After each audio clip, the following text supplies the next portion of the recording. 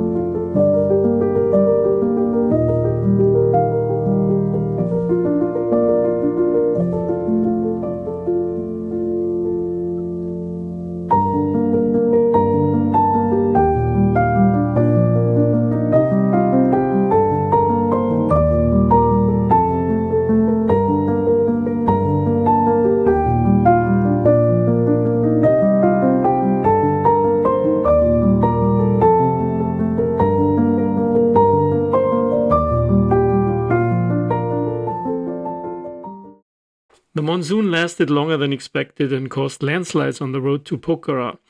We asked our trekking agency called Prems Nepal Trekking to arrange a helicopter flight, which was very scenic and took only 45 minutes. This was one of many examples how important it is to work with a local trekking agency.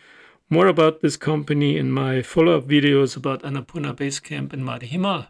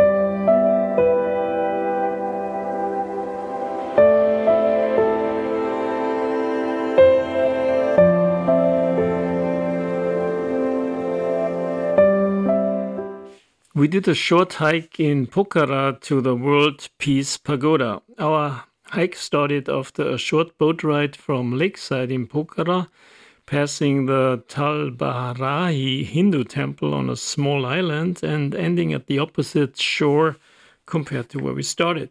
The hike was only 2.4 kilometers or one and a half miles long, with an elevation gain of 340 meters or 1,000 feet. Although it was a short hike. We sweated a lot due to the steep stairs and warm and humid weather in Pokhara. At the top, you will have a really nice Buddhist pagoda. You will also have incredible views of Pokhara, Lake Phewa, and Sarangkot, where we stayed. And there are also a few tea houses which serve food and refreshments.